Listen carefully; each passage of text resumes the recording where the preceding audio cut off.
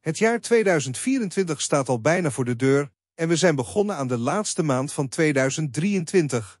Voor zanger Walter Cruz wordt het een bijzonder jaar, met niet alleen een optreden in de Ziggo Dome tijdens Holland Zingt Hazes op 8 en 9 maart, maar ook omdat hij al 35 jaar in het vak zit.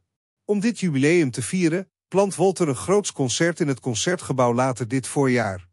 Het belooft een spectaculaire avond te worden waarin hij niet alleen zijn meest bekende nummers ter gehore zal brengen, maar mogelijk ook een eerbetoon aan Hazes zal brengen.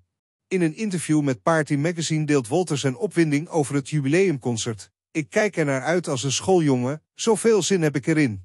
De fans kunnen zich ongetwijfeld verheugen op een onvergetelijke avond vol muziek en feestelijkheid.